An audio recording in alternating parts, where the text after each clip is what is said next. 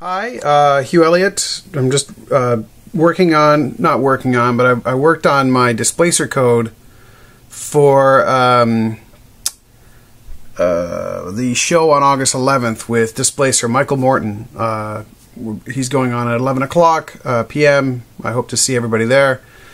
I've uh, put together this little presentation. You see here I've got the Boid and, well, another Boid, and then waveform renderer with three pretty simple uh, libraries I've been able to put together, and then some adjustments, of course. I've been able to put together my little piece. So I'm going to run the code. We'll talk a little bit about it.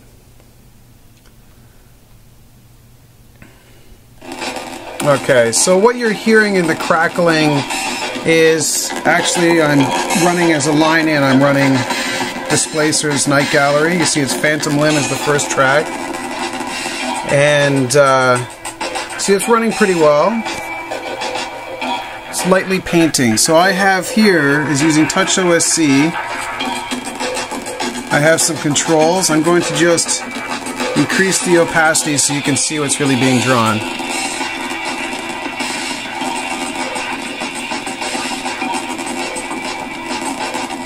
So what I'm doing is I'm following a wandering sprite, or Boid in this case, Daniel Shiffman's excellent wander code and followers code.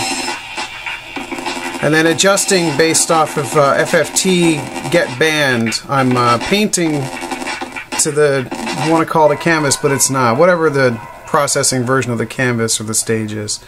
So the other thing I've allowed myself to have is the uh, ability to just changing tracks, obviously, the ability to control the X and Y of what they're following. So I want them to paint primarily down in the bottom in the left hand corner.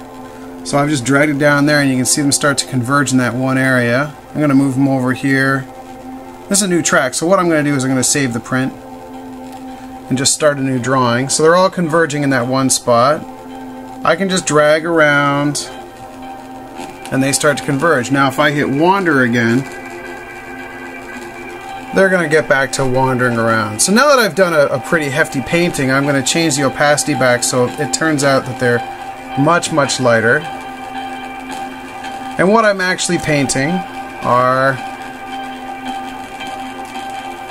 uh, prints. So I'll show you what I'm what I mean here once I find it.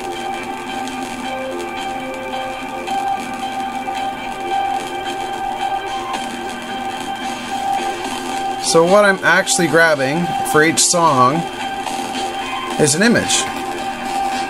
Okay? And then each image is being painted. And then when I hit save print, that loads a new image and the image that was painted is saved here. So Mike will have prints based off of his entire show. So, anyways, we're super stoked. Uh, met with Mike yesterday, Displacer, and uh, we went over it. Really excited. Uh, can't wait to see what happens uh, playing with Touch OSC and an XML socket server, or a socket server in general, and uh, just some pretty, pretty pictures. Okay, bye.